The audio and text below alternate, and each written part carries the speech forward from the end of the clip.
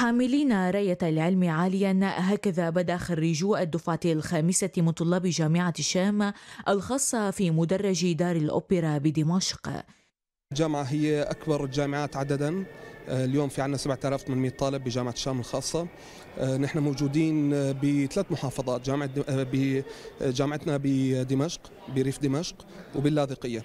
موجودين بسبع كليات بدمشق وأربع كليات باللاذقية.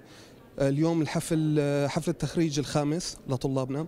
وإن شاء الله بكرة الجامعة بخريجينها راح تثبت حالها بميدان العمل بميدان الحياة. الحفل دائما بيكون بجامعة الشام هو من يعني أفضل حفلات التخرج بيكون دائما متميز.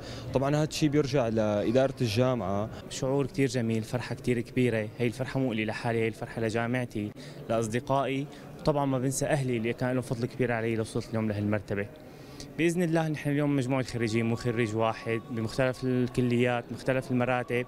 بإذن الله رح نكون بهذا الوطن بهاي الحياة إنسان أو أشخاص مميزين. أه نقدم خير لأنفسنا نقدم خير لأهالينا نقدم خير لوطننا نقدم خير لجامعتنا.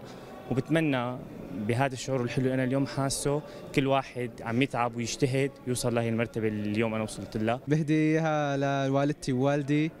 ولكل الناس اللي دعموني. اهدائي لعائلتي بالمقام الأول بعدين للكادر الطبي بالجامعة الشام الخاصة ولجميع زملائي وزميلاتي وكل من وقف معي وكان وسبب وصولي لهالمرحلة.